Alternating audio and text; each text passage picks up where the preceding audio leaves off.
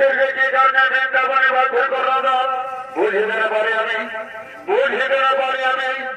যাও তোমরা